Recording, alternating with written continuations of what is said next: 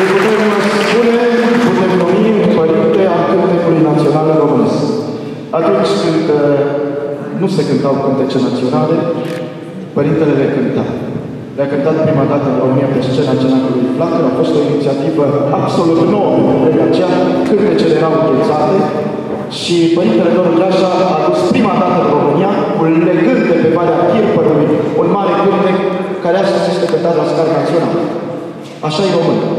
Așa e românul, a fost cântat, iată de cel pe care îl aveți în față, prima dată, pentru că în 20 iulie 1980 să fie înregistrat Adrian Păunescu și dat la televiziunea română.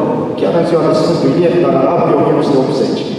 Tot Părintele Doru Gheașa, Adrian Păunescu, pe prisma mănăstirii Rămeți, a scris cântecul Toartea, după pricească mai veche care se cântă în Ardeal, auzită de la maicile care erau acolo.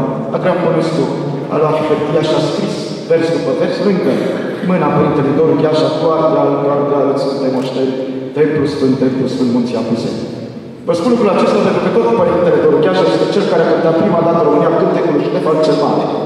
Și l-a cântat unde altundeva, poate o să rămâneți uimiți, pe clopotul de la Putna, al lui Ștefan cel Mare, care era fost afară și avea Pionescu la o întâlnire care s-a avut loc în curtea Mănăstirii Putna, cu peste 3.000 de oameni, a spus, Părinte, aici s-ar auzi cel mai bine cântecul lui Ștefan cel Mare. Îl cunosese de la oameni cu un dar de plin de șale mii de clopote de peste Ștefan Vodă, în Moldovei, Ștefan Vodă nu mai este. Iată pe cel care l-a dus prima dată și l-a cântat între noi. Nu mai spun de piesele noi, suntem români, tot Părintele Domnul Gheașa, hai să întindem ora mare mai aici și mai colea, mai aproape de Băgare, în Basarabia, tot Părintele Domnul Gheașa, prin țara noastră ne-a venit și nici mai nu câte nu sunt. Părinte Domnul Gheașa, fiți bineveniți în fața publicului amiral din București.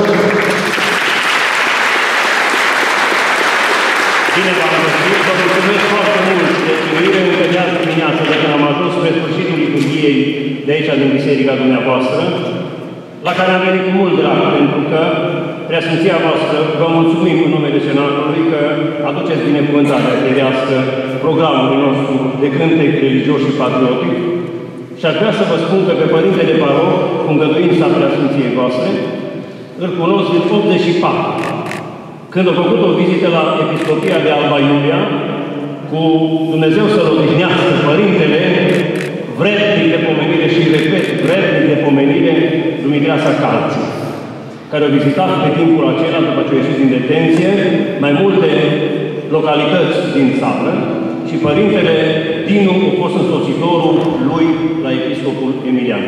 Atunci l-am cunoscut pe Părintele Dinu și atunci am rămas apropiați.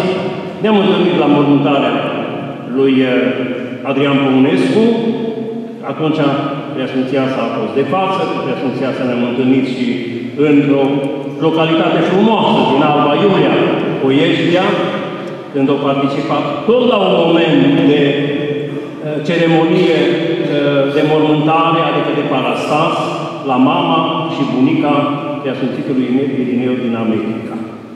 Vă mulțumesc, Preasfinția voastră, că cu bunăvoința și cu dragostea care vă caracterizează, ați venit să ne dați acest simbol al dragostei pentru cântec religios și pentru cântec patriotic.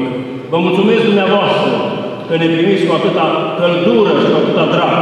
Și vă rog foarte mult, pentru început o să cânt un cântec religios și după aceea o să intrăm încet, încet, încet și despre mamă o să cântăm și despre tată și să ne simțim ca în familie.